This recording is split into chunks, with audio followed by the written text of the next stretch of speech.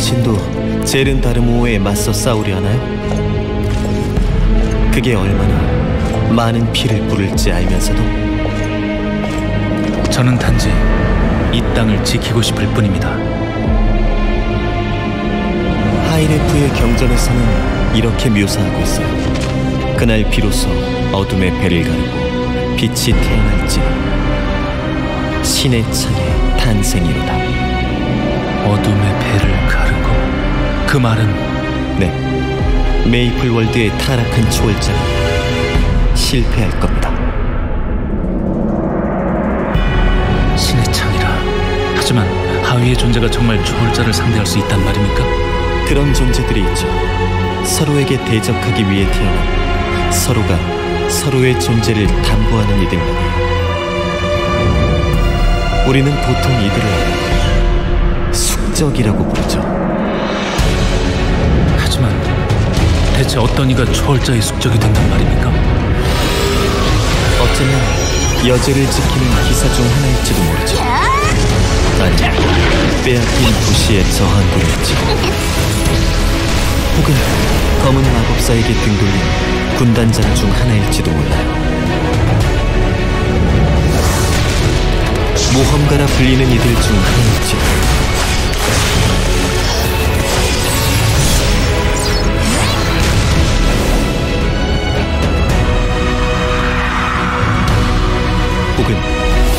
아직까지는 정체가 밝혀지지 않은 다른 누군가일지도 모르죠.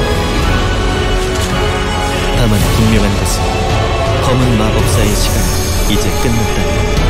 그리고 숙적을 잃은 신의 창은 이제 그 창 끝을 다른 이에게 돌릴 거라는 점이죠. 셀은 다른 셀은 정말 괜찮겠어요? 이 땅의 운명을 다른 누군가에게 맡기게 되는 일인데요? 메이플 월드는 꽤 오랫동안 평화를 지켜왔다고 하더군요. 우리와는 다르게 말입니다. 오랜 세월 동안 많은 것이 불탔고 굳건했던 신념은 흔들렸습니다. 소중한 이들을 잃고 또 잃었으며 힘에 무력하게 지배당했습니다. 땅에 남은 것은 오직 패배와 절망뿐이었습니다. 그러나 이제는 일어설 때입니다. 누군가는 이 비극을 막아내야만 합니다. 설령 서로의 믿음이 다를지라도 소중한 것을 지키기 위해 우리는 함께 싸워야 합니다. 왕자님, 제비가 끝났습니다. 에라는 이렇게 말하더군요.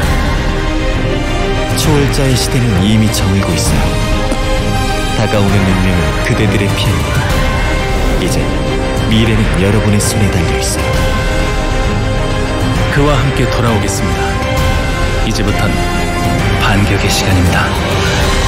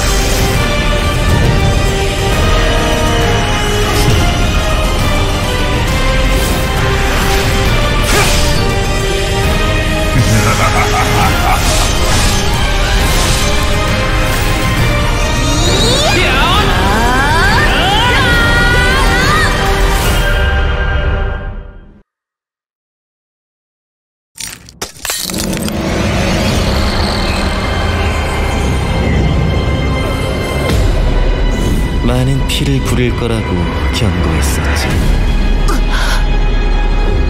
그래. 초월자의 시대는 저물고 다가오는 운명 그대들의 편이다. 운명을 믿는다면 말이야.